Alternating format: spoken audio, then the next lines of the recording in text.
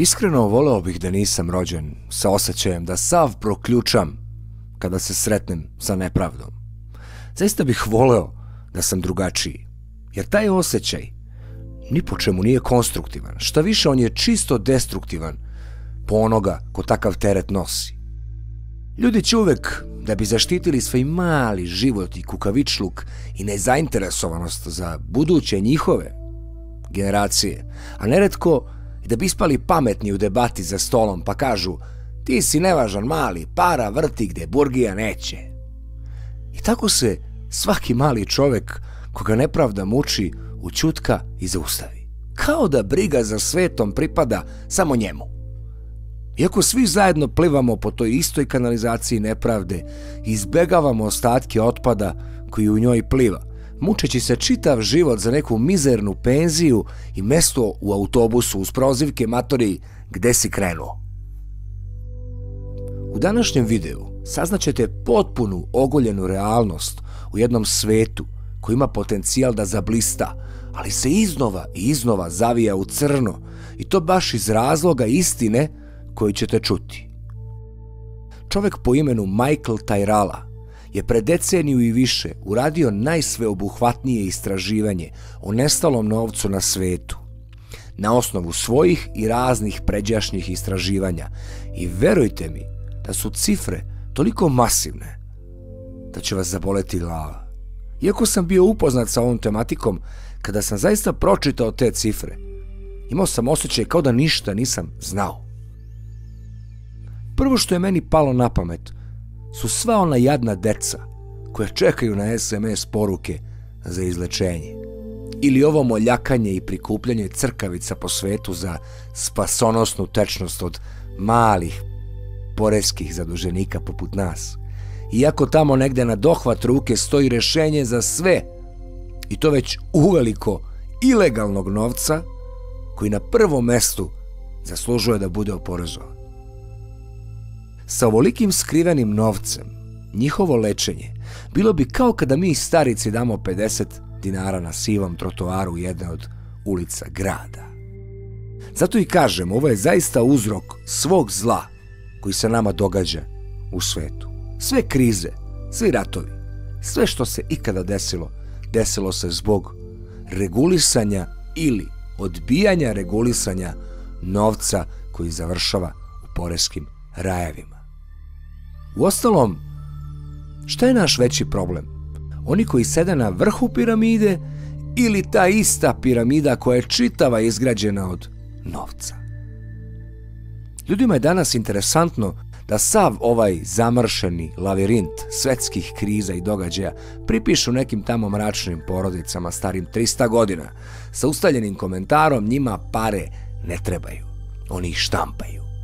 I na krilima tih uprošćenih misli koje služba ubacuje u krugove probuđenih ljudi, poreski rajevi bujaju po svetu, a mi obični ljudi se kao na brodu pri visokim talasima te turamo i bacamo sa jednog kraja na drugi. Sa druge strane, naši uglađeni i obrijani predvodnici krda, koji budite sigurni imaju svoje udele u pljački sveta, nečesto i seku struju pastiru u zabačenoj kućici na planini. Jer svi smo se nekako saživeli sa floskulom kako jedine dve stvari koje svaki čovjek mora da uradi je da umre i da plati porez. Onaj koji poželi da ne plati porez, na njega se upire prstom kao na crnu ovcu, koja radi protiv interesa države i boljitka njenih građana. Ova bezobrazna dvoličnost će u ovom videu biti još šokantnija. Navodna ozbiljnija borba protiv poreskih rajeva, iako je sve to jedna velika šarena laža, govorimo o borbi, počinje 98. godine jako zanimljivo vreme. U vreme Clintona da bi se nakon četiri godine zaustavila pod Bushom uvođenjem dopune regulacije sa dva stava, a oni su primat suvereniteta i moć slabih. Naravno, kako ovo sjajno zvuči, zar ne? Najmoćniji političari sveta brinu o malim ostrvima i malim narodima i daju im moć suvereniteta, a zapravo se među zelenim palmama čuvaju kovčezi papirnih novčanica na koje su svi nekako osetljivi. Svi se sećamo šta se izdešavalo u Americi kada je Bush došao na vlast. Rušenje kula bliznakinja i početak ratova na Bliskom istoku i šire. To smo zaboravili, ali to je kriza poput ove koja se događa danas, nakon 20 godina. Zanimljivo da ovi događaji kreću upravo nakon pokušaja Clintonove administracije da se opere od bacanja bombi po Evropi. I to pred kraj mandata, uvlačeći se narodu kako će on baš pred kraj svog mandata, naravno, nikada na početku, da stane na put najvećim peračima novca jer jednostavno nije stigo ranije. Šio mi ga džuro. Poput onog čuvenog govara američkog bankara gospodina Miloševića, koji je usponu karijere visio u kabinetu Rockefellera, a onda pred pad njegove vlasti spričao onaj čuveni govor teoretičara zavere. Te sokiće o junaštvu mogu popiti samo naivni 2021. godine, a ja znam da iskreni pratioci ovog kanala su sve samo ne to. I ovo buđenje se neće zaustaviti. Ono je počelo i doći će do kraja. Da ne skrećemo sa teme, pre nego što čujete šokantan podatak iz riznice filantropije, jer ko bi drugi imao pare na poreskim rajevima ako ne ovi koji se ubiše da spašavaju svet? Samo da se podsjetimo, brzina interneta 2010. godine je bila svega smešnih 5 megabita po sekundi. U to vreme YouTube i Facebook su tek počeli da rade. Čisto da imate predstavu jer ljudi brzo zaboravljaju. Tada, te 2010. godine, na porevskim rajevima je bilo između 21 i 32 triliona dolara.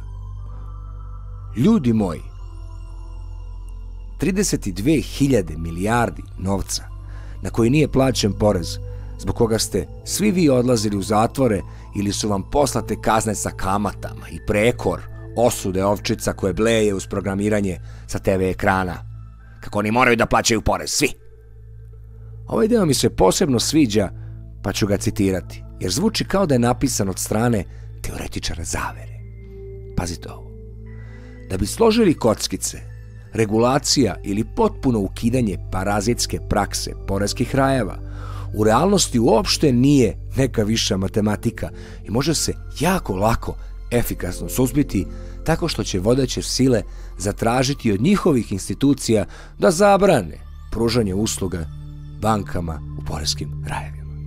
Pa naravno, ali nema ko kada se financijama uglavnom bave nekakvi mali, sitni ljudi. Ovo je isto jako zanimljiv podatak, jer je to još jedna nepravda koja me boli već duže vreme, a to je ta personifikacija zapadnih zemalja u neke uređene posebne zemlje odgovornih naroda i vrednih, što nas Balkance i naravno većinu sveta svrstava u te prljave, kriminalne i neuređene od kojih svi žele da pobegnu. Dok je istina da ti uglađeni imaju svoje ostrva na kojima upompavaju trilione ukradenog novca po svetu, naravno dozvoljavajući i uspešnim, kako ih mi nazivamo Balkancima, jer voze BMW i Audi, da i oni tu malo pročuvaju svoj novčić. Zar ne? Slušajte ovo i sve će vam biti jasno. Poreski rajevi nisu novi fenomen. Prvi primer može se datirati još u kasnom 19. veku. Prvi rapidni pomaci u komunikacijonoj i transportnoj tehnologiji doveli su do kompjuterizacije financija, koji je otvorio širom vrata za rad poreskih rajeva. Sljedeći važan korak bila je dekolonizacija – kada su navodno oslobođene kolonizovane zemlje dobile taj suverenitet. Sećate se početka. Moć slabijih. I konačno, 1957. godine, Banka Engleske uvodi dekretom da sve transakcije odrađene od strane engleskih banaka na zahtev ljudi koji nisu rezidenti ili koji nisu podneli molbe direktno iz Engleske, zvanično se smatraju za usluge koje nisu izvršene na tlu Engleske. Kako nijedan zvanični organ više nije imao regulatornu nadležnost, poreski rajevi su počeli da cvetaju. Već sami znate da mi kao male zemlje samo prepisujemo te zakone, tako da ovaj zakon je verovatno prepisan i kod nas. Kao i svi moderni evropski zakoni. Ja naravno neću moći da prođem svaki detalj ovog istraživanja, koji vam toplo savjetujem da pročitate ceo, jer ćete shvatiti kako ne da postoje zavere, nego je čitav finansijski sistem jedna velika zavera od Adoša. Pazite ovo, individualni novac koji odlazi na mesta namenjena za elitu među palmama iznosi 800 milijardi do 1000 milijardi godišnje. Pazite, ovo je pre 10 godina. Ovo je samo individualni novac privatnika. I onda vam pričaju o nacionalnim ponosima, zastavama, suverenitetu. Dok se njihov novac meša kao maslac u svim bojama i rasama. Kada treba da se potegne, tu smo mi. Kada se ratuje, opet mi. Ali kad treba da se uživa, onda samo oni. Ustanovljeno je da od onoga do čijih se podataka došlo, da 6% od ukupnog bogatstva čitavog sveta završava neregistrovano na bivšim kolonijama, koje su odjednom naravno ne zaverom dobile suverenitet, da usvajaju zakone pogodne njima na vrhu. Samo ovaj procenat, kada bi se oporezovao, pokrio bi čitavo zaduženje eurozone, koja je druga ili treća ekonomija sveta, i ozbiljno smanjio američki dug koji je najveći na svetu. Amerika gubi blizu 200 milijardi dolara godišnje samo od korporacije i ljudi, jer imaju mogućnost naših siniša po svetu koji jure uglavnom sirotinje, a žmure na Miškoviće koji izlače naše pare za njihove luksuze.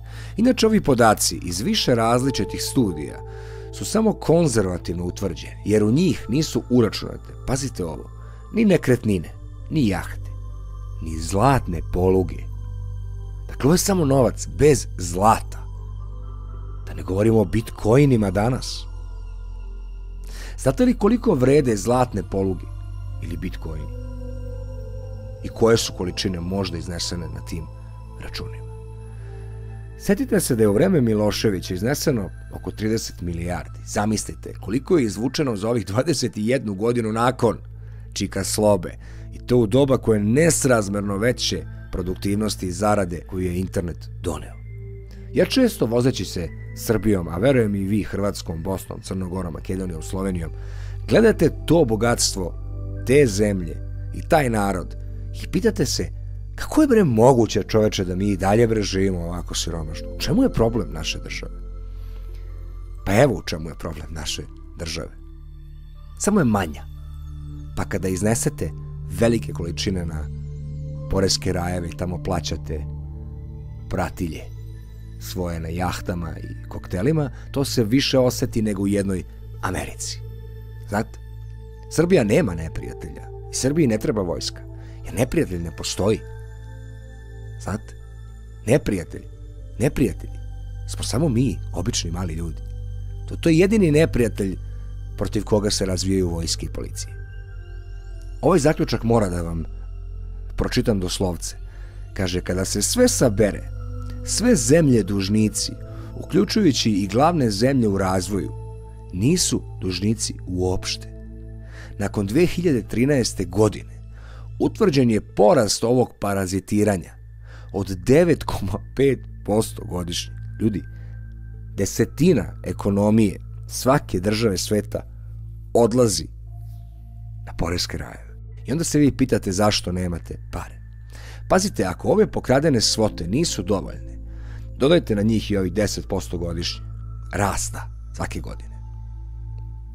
Pa se setite kako morate da plaćate pretplatu za RTS ili kako ako freelanceri ne budu plaćali porez, penzioneri neće imati penzije jadni ljudi. Prosto da čovek ne zna od čega mu je veća muka, da li od ovih pohlepnih zveri, ja ne znam koliko treba da budeš pohlepan, da tolike pare iznosiš iz svoje zemlje. Kao da ih možeš odati u grob. Kao da će tvoj unuk imati dete uopšte.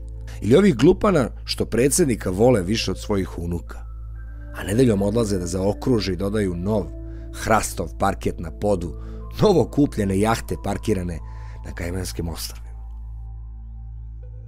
Jako zanimljiv detalj u ovom tekstu obavezno ga pročitate, jer će vam sve biti jasno. Na primjer, jako zanimljiva stvar je, se ovdje otkriva i pravi razlog zašto je Kennedy ubijen. Kennedy je 61. godine planirao da eliminiše poreske rajeve. Potpuno i zakonski da zabrani uopšte bilo kakvo finansiranje, bilo kakav protok novca sa njih. I naravno, dobili smo šta smo dobili. Osvalda. I naravno, dovoljnu priču za male ljude koji ništa ne razumeju. Do sljedećeg videa, volim vas fes. Pozdrav, dobri ljudi.